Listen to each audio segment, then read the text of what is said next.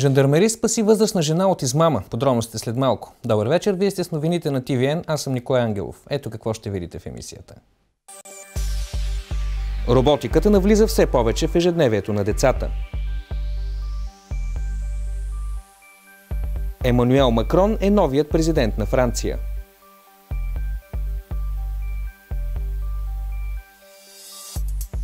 ТВН с информация за трафика в последния почивен ден.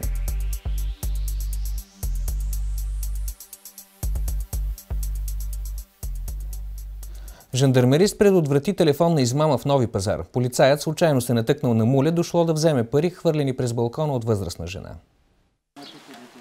В ранния следобед Пламен Пенчев бил на терасата на семейния апартамент. Той чул, че възрастна жена от блока се готви да хвърли пари на някого. Като каза, пускам ги, на, на земята в тревната площ падна една турбичка, безцветна, с увито, вътре в нея, увито с хартия. И аз се усъмних, че това става въпрос за някаква измама. Жандармеристът веднага излиза и отива към хвърлените пари, за да провери кой ще ги вземе. Е, тук се скрих аз След малко се появява и мулето на телефонните измамници. И говориш по телефона, нищо не виждам, няма никаква турбичка, а ето видях я. И се насочи към турбичката и аз през това време тръгнах към него. Пламен Пенчев го задържа и вика подкрепление от полицейското управление в Нови пазар. Жандармеристът отива при възрастната жена, за да я успокои, че парите й ще бъдат върнати. Тя обяснила, че преди обяд непознати започнали да извънят по телефона. И от него я заплашвали, че ще ли да я обезглавят, ще ли да я разпорят отгоре до долу. Оказало се, че в турбата има 2000 лева. Изяснена била и самоличността на човека, дошъл да вземе сумата. 48 годишен мъж от село Синивир, община Каолиново. Той обяснил, че бил наед за работа. Свързали се с него, след като пуснал обява, че продава автомобил. Мъжът е разпитан и освободен, а до дни районна прокуратура трябва да започне работа по случая. Първият законопроект, който ще бъде внесен от ГЕРБ е за мажоритарна система. Вторият, който също не е маловажен, е за концесиите. Цветан Цветанов е категоричен, че това е поет ангажимент от страна на партия ГЕРБ още в края на 43-то Народно събрание. Надяваме се, че предложенията ни ще срещнат парламентарна подкрепа. Длъжни сме да го направим, защото това е едно от обещанията, които пеехме пред избирателите си, допълни той. Проектът предвижда въвеждане на изцяло мажоритарна изборна система. Като втори законопроект се предвижда да се внесе този за концесиите, който според Светанов е изключително важен. За съжаление, след наложеното вето от президента Румен Радев, парламента трябва да извърви отново цялата процедура по внасене, обсъждане и гласуване, която в предишното Народно събрание продължи около година и половина. Ако този законопроект не бъде одобрен от парламента, България влиза в наказателна процедура, заяви заместник председателят на ГЕРБ Цветан Цветанов. Слави Трифонов отново протестира пред Народното събрание. Това е петият му пореден протест. Повод за недоволството му е неприемането на мажоритарна избирателна система от страна на депутатите. Изключително обидно беше това, че в предишния парламент не беше разгледано дори това, за което гласуваха 2 милиона и половина души. Това е тъжно. Депутатите се са самозабравили и не се вслушват във волята на хората, каза Трифонов. Смятам, че делата са важни, а не думите, допълни още той. Закани се и, че ще стои пред парламента, докато депутатите не приемат вота на хората. Трябва да не се страхуваме да променяме начина си на живот и да се стремим да живеем по-добре. При смената на системата е възможно в парламента да влязат по-качествени хора. Това не е панацея. Ако депутатите не спазват законите, защо ние да ги спазваме, каза още телевизионният водещ. И към водещата новина от света. Емануел Макрон е новият президент на Франция. Той спечели втория тур на изборите с малко над 66% срещу близо 34 на 100 за лидера на Националния фронт Марин Люпен.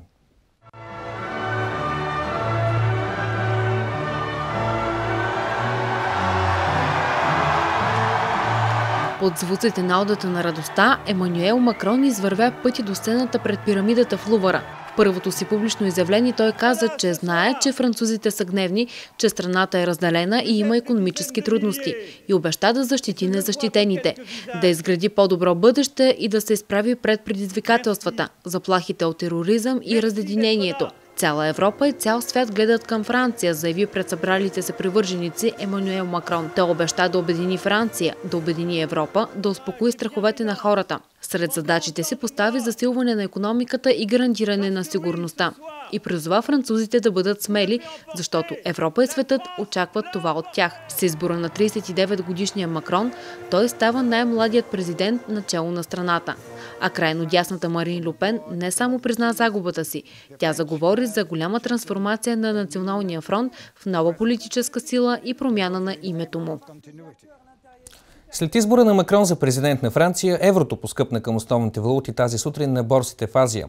Малко след обявяването на резултатите, еврото поскъпна до 110,23 за 100 долара в сравнение с 109,99 за 100 долара в петък вечерта в Нью Йорк.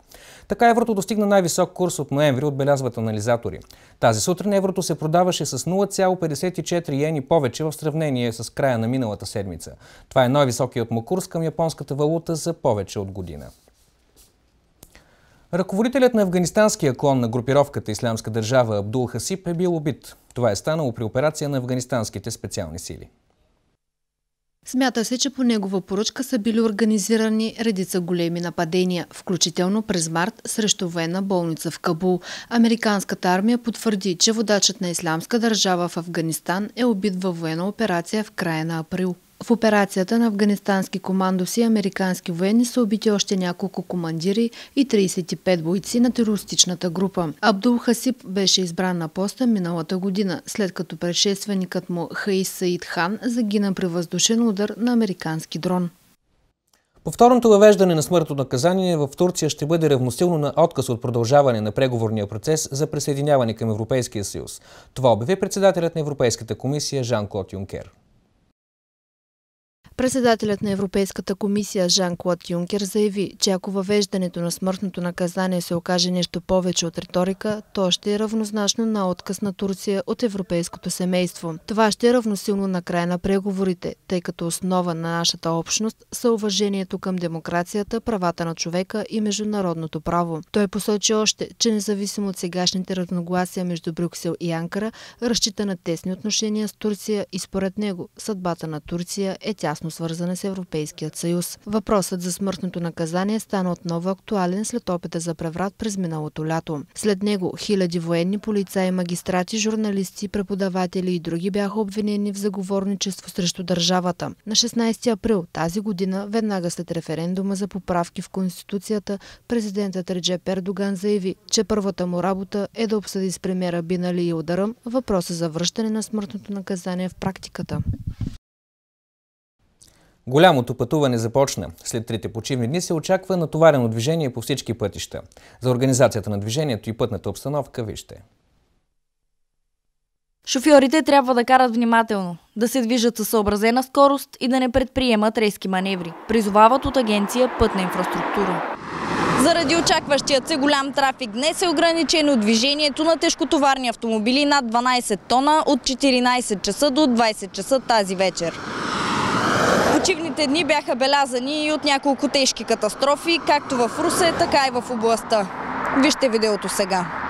Тежки пътно-транспортни происшествия белязаха празничните дни. Седем души, сред които и дете, пострадаха при тежка катастрофа на пътя Русе-Бяла. Лек автомобил е ударил миниван, след което се завъртели и ударили друга лека кола. Най-тежко са пострадали пътниците от минивана. Друго происшествие стана под ЖП прелеза по пътя за квартал Средна Кула. Лек автомобил се удари челно в бетонна стена на моста. Водачът загуби управление над колата при преминаване през Локва. Шофьорът на автомобила е бил контактен. Минути след происшествието е бил откаран в болница. Още един инцидент беляза почивните дни. Малко след 23 часа с нощи кола с английска регистрация катастрофира под моста на булевард Христо Ботев. Според очевидци, шофьорът на автомобила е направил няколко резки маневри, след което се е ударил челно в уличен стълб. Заради очакваният интензивен трафик, агенция Пътна инфраструктура апелира шофьорите да спазват правилата за движение и да не използват аварийните ленти по автомагистралите за по-бързо предвижване. По традиция за Деня на храбростта и на армията в Русе, който е празник на града, се проведоха няколко инициативи. Трети век вече на площад Батенберг рущокли се събират, за да почитат своя патрон Свети Георги.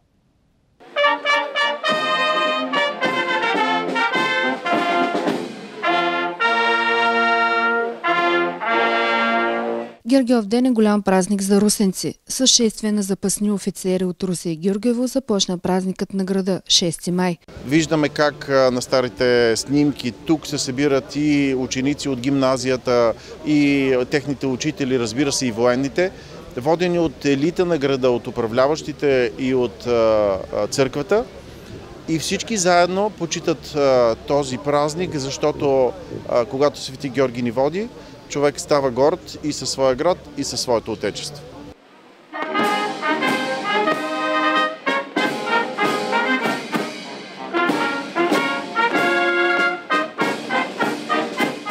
Русинският митрополит Наум и свещеници услужиха за упокойна молитва и благодарствен молебен за загиналите за Отечеството.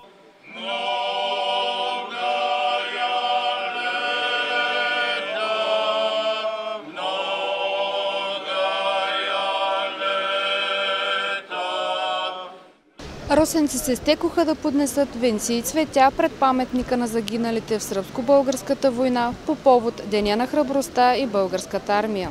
Какво за русенци е празникът 6 май? 6 май е празник на, как да кажа, първо ще кажа, че е празник на войската, на армията.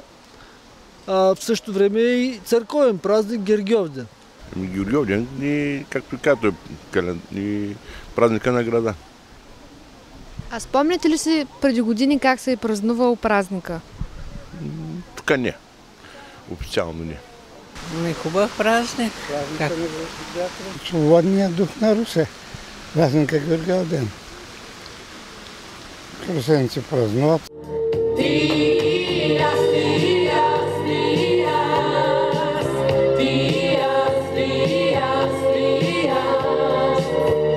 Празничната програма завърши с концерт на площад Свобода с участието на Орлин Горанов, Кристина Димитрова и група Айскрим.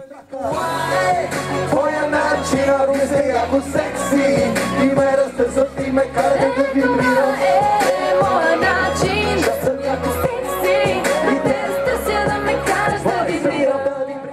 Русенски отбор се класира на трето място на фестивал Роботика, на който Русе беше домакин за първи път. Той е регионална инициатива, която е част от програмата Роботика за България. В фестивала участваха 14 отбора. Отбори от Русе, Варна, Разград, Силистра и Козлодуй бяха сред участниците в фестивала. Членовете на екипите и техните ментори представиха своите умения при работа с роботи. В действителност, всъщност, когато конструират децата роботи, още в началото по готови шаблони, им е малко трудно, но така пък те устояват самите инстинкти за строеж и оттам вече много лесно започват сами да правят свои варианти на роботите. Надпреварата премина в няколко състезания робоигра, рободизайн, отборна игра и изследователски проект. Като всяко направление имаше своята специфика. Нашата цел е да стимулираме учениците в цяла България да развиват своите умения по работа в екип. Сашко е първи клас, но доста преди да прекрачи класната стая изявява интерес към роботиката. Не се затруднявам, но понякога, когато когато има нещо неразбираемо и не мога някаква част да сложа, аз малко се затруднявам, но иначе успявам да я построя. Русенският екип също се класира в челната тройка. Техният робот може да бъде програмиран и да изпълнява мисии. А трудно ли се сгубява един робот? Да, по принцип. За, защото а, трябва да се помисли за всичко, което трябва да се направи за всяка отделна мисия. При конструирането на робота трябва да си има приставки, които може да се сменят лесно и да са полезни. Ами, роботът по принцип зависи колко е голям и колко приставки има. От това зависи колко трудно ще се построи той. Зависи от всяка една негова част, защото всяка една част, която е сложена по различен начин, може да промени програмата. Основната цел на фестивала е да се стимулира интереса на учениците към науката и технологиите. Учи забавлявайки се. Това е мотото, под което се проведе за трета поредна година предизвикателството към всички любознателни деца. Инициативата събра десетки малки русенчета пред операта. Образователната обиколка е вдъхновена от изследователския и научен опит. По този начин се цели да се повишат знанията на децата по един съвременен и забавен начин. Нашата цел действително е да забавляваме децата, но едновременно с това да ги научим по един забавен, по един весел начин на това какво представлява природата, какво представляват животните. Ето виждате зад мен какво представлява химията и физиката. Всъщност това не са тежки, трудни за възприемане неща, напротив много забавни, много любознателни, много интересни неща, които се случват непрекъснато около нас. Клубът Малки откриватели подари на децата един незабравим ден. Той бе изпълнен с многобройни игри и работилници.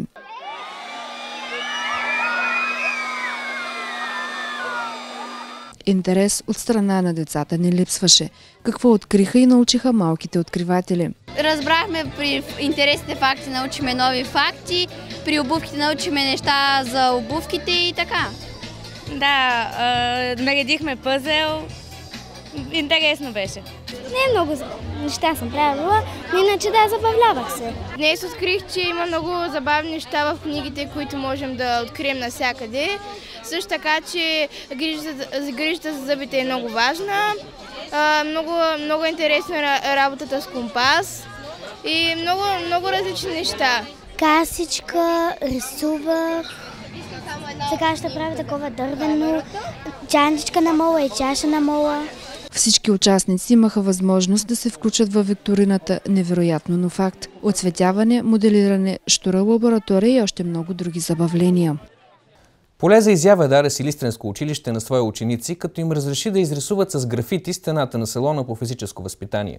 Децата развихриха въображението си под звуците на хип-хоп и зумба танци. От ноември миналата година ученици от Силистренското основно училище Отец Паиси се учат да рисуват графити като част от инициативата на Образователното министерство Твоят час.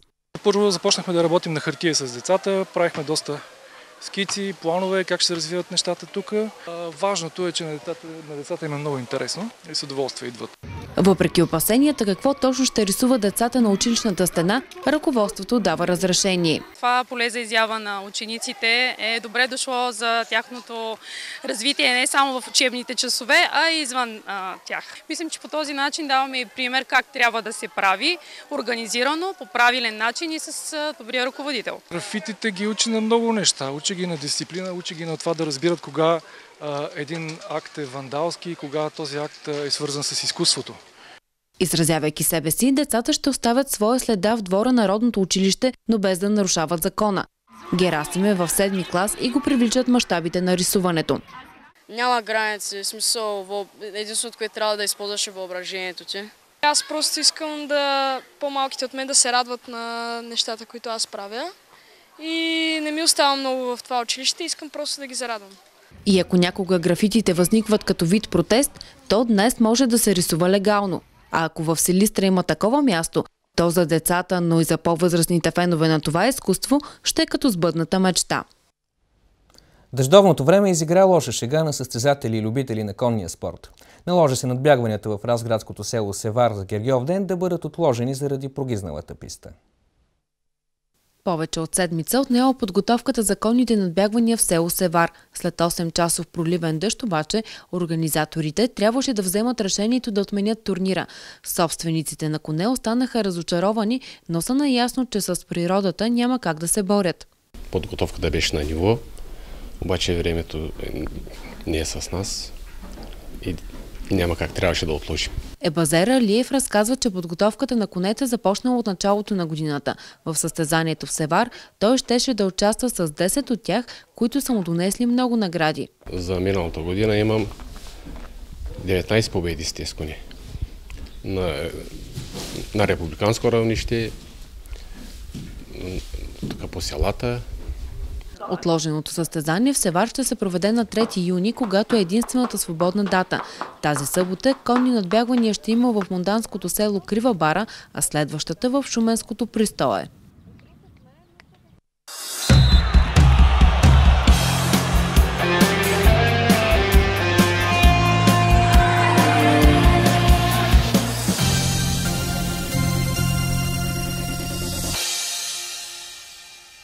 След оспорвана битка в най-тежкия клас, екипажът на Network Свилен Максимов Делян Димитров завърши на трето място в тази годишното издание на Варна Офроуд 2017. Русенците, които се състезаваха с джип Чероки в най-тежкия клас, Т1 на крос кънтри, постигнаха най-добро време в третия етап от състезанието, но не успяха да наваксат изоставането от първите два дни.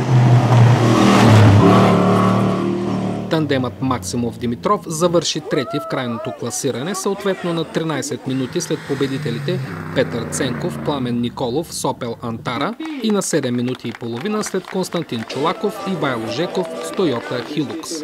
В клас Т2 победата спечелиха Веселин Петков и Юрий Петров с Нисан Патрол, а в Т3 се наложиха Владислав Велков и Лиан Георгиев. Състезателните трасета за трите дни на състезанието в рали класа бяха с обща дължина 650 км, а в клас трофи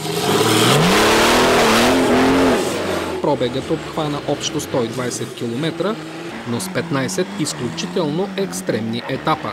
Проливният дъжд през втория ден допълнително усложни обстановката и затрудни състезателите, но въпреки това почти всички завършиха успешно над преварата. Трофи класът бе разделен на три подкласа – стандартен, модифициран и прототипи. В клас стандарт първото място спечелиха Николай Колев, Христомир Илиев с Нисан Патрол, а трето място зае отново русенски екипаж в състав Милен Минчев и Димитър Димитров от клуб Термокинг Рейсинг. В клас модифициран спечели тандемът Драгослав Янев, Милен Бозуков с Мерцерес G. При прототипите успехът бе за Педро Пинто, Николай Николов – а при АТВ-тата победител бе Емил Комаровски. Състезанието бе първи кръг от националния крос-кънтри шампионат. Първо състезание от веригата България Трофи Челендж, както и кръг от ендуро шампионата за класа на АТВ 4 колките.